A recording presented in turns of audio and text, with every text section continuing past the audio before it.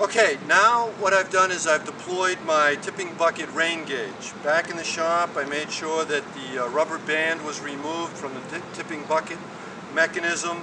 I had hooked it up to my logger to make sure that it worked. Um, I've driven my remote mast into the ground here. I've got a level on it to make sure that it's level when I put it in. I've secured the rain gauge to the mast using the two hose clamps provided with the rain gauge. Can see my sensor cable here.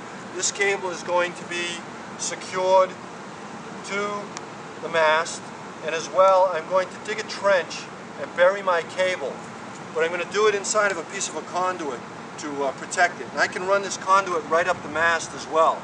Uh, you need to have uh, either a plumber's snake to run the wire for the sensor through the conduit or you can have split conduit, you can have metal conduit, it's just, we recommend using some type of conduit to protect the wire from little animals chewing on it and whatnot.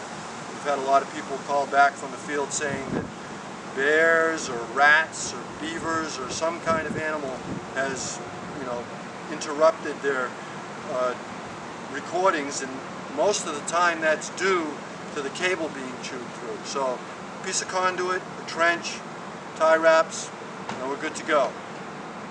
This actual site, again, is not the correct way to deploy a rain gauge.